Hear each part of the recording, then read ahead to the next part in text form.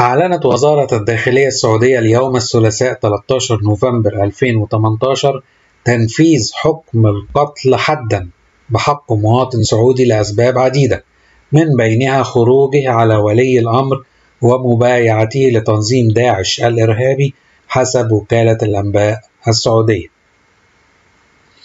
وده البوست على تويتر بتاع وكالة الأنباء السعودية واس.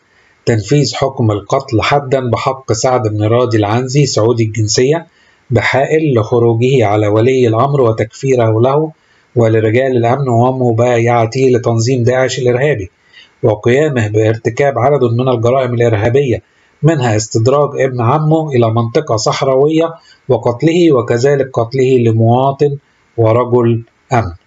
هاشتاج واس 13 نوفمبر 2018 الساعة 11 لربع الصبح.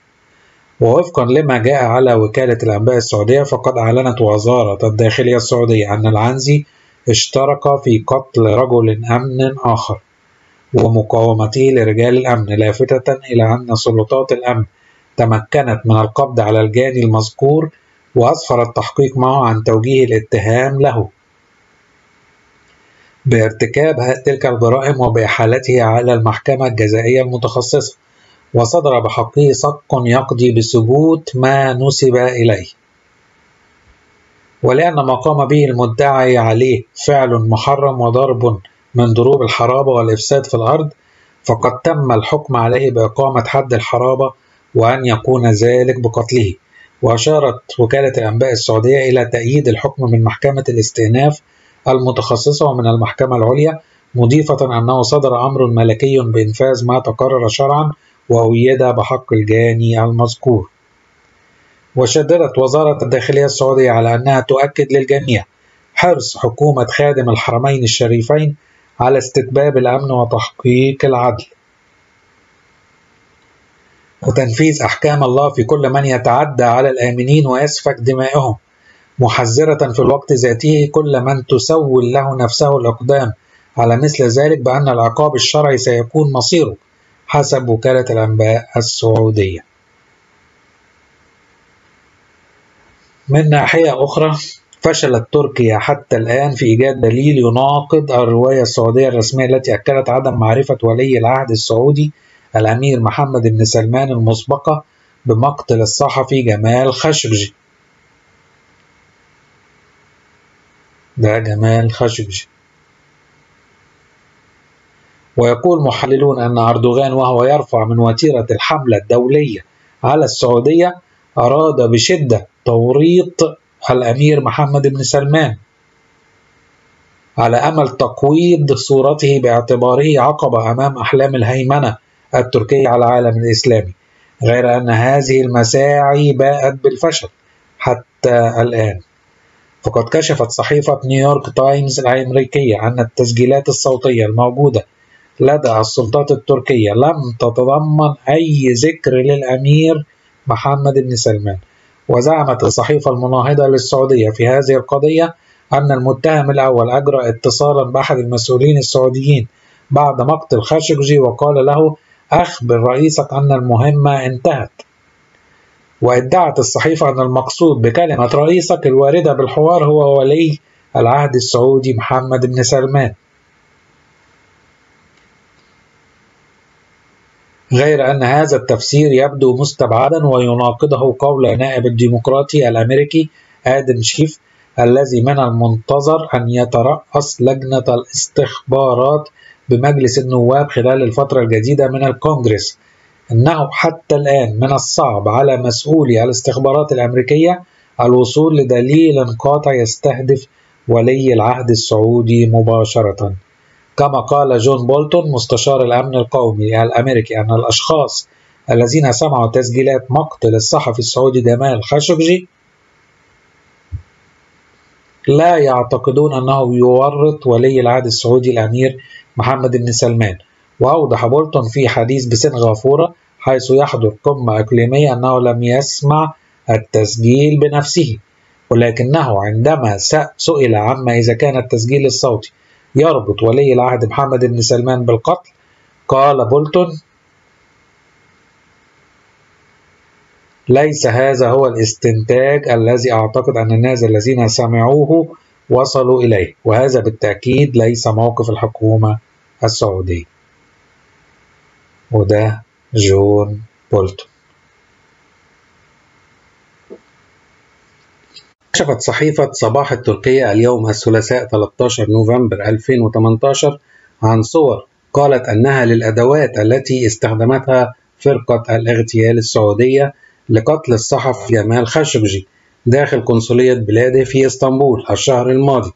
وقالت صباح أن أجهزة الفحص بالأشعة السينية في المطار أظهرت أن الحقائب التي كانت بحوزة الفريق السعودي تحتوي على مقص كبير ومشرط وجهاز صعق كهربائي.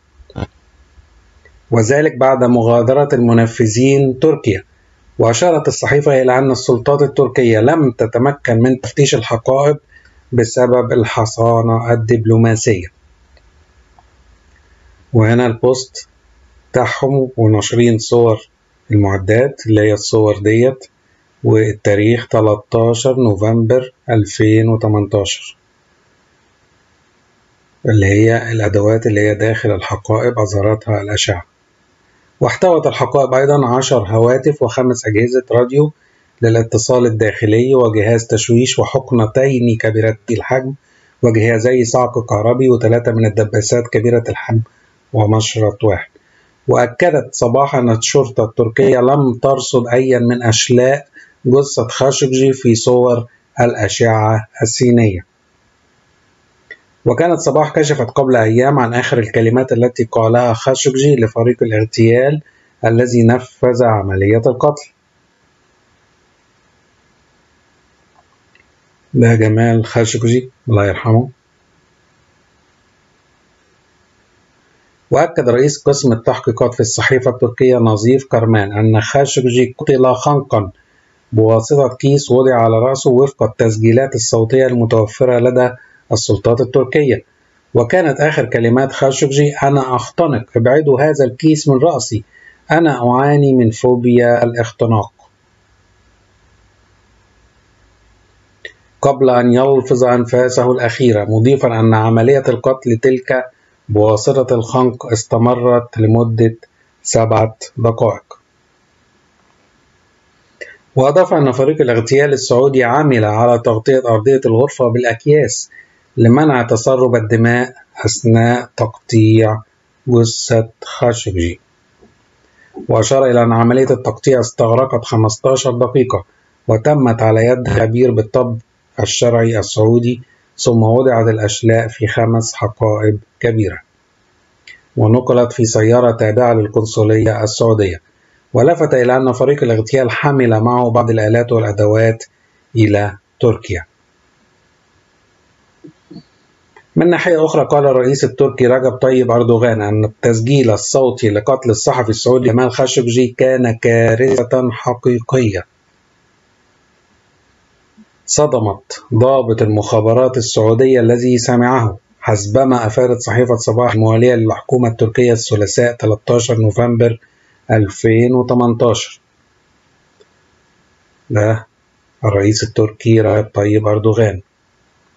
وصرح أردوغان للصحفيين أنه عند سماعه التسجيل قال ضابط المخابرات السعودي أعتقد أنهم كانوا تحت تأثير الهيروين فقط شخص يتعاطى الهيروين سيفعل مثل هذا الشيء. وتتوالى التصريحات الخاصة بتسجيل خاشقجي إذ أعلن رئيس الوزراء الكندي جاستن ترودو الاثنين أن المخابرات الكندية استمعت إلى التسجيل الخاص بمقتل الصحفي السعودي مشيرا إلى أنه لم يقم بذلك الأمر بنفسه. وعندما سئل خلال مؤتمر صحفي في العاصمة الفرنسية باريس حول سماع المخابرات الكندية التسجيل أكد ترودو ذلك مرتين وقال أنه لم يسمع بنفسه التسجيلات. كان أردوغان قد قال في وقت سابق أن بلاده قدمت تسجيلات تتعلق بقضية مقتل خاشقجي لكل من السعودية وأمريكا وبريطانيا وألمانيا وفرنسا. وفي الوقت الذي لم يقدم فيه أردوغان تفاصيل حول طبيعة هذه التسجيلات أو ما تحتويه قال في تصريحات له قبيل مغادرته إلى فرنسا لحضور ذكرى مئوية انتهاء الحرب العالمية الأولى القتلة هم بالتأكيد بين الأشخاص الخمستاشر أو التمنتاشر وليس هناك داع للبحث عنهم في أي مكان آخر. وتابع وفقا لما نقلته وكالة أنباء الأناضول التركية الرسمية الأشخاص الخمستاشر يعرفون بالتأكيد من هو القاتل أو القتلة. والحكومة السعودية قادرة على الكشف عن ذلك داعيا المملكة لتقديم إجابات لما حصل لجثة خاشقجي. يشار إلى أن وزير الخارجية التركي مولود جاويس أغلو قال في تصريحات سابقة أن بلاده تمتلك أدلة تتعلق بمقتل خاشقجي. مضيفا أن بعض الأدلة لم يتم الكشف عنها وأنها تركيا أطلعت فقط الدول التي تريد معرفة هذه الأدلة مؤكدا أنه سيتم إطلاعها على الرأي العام بعد نهاية التحقيقات. لكن وزير الخارجية الفرنسي جون إيف لادوريان في مقابلة مع قناة فرانس 2 قال إنه على حد علمه فإن بلاده لم تحصل على نسخة من التسجيلات.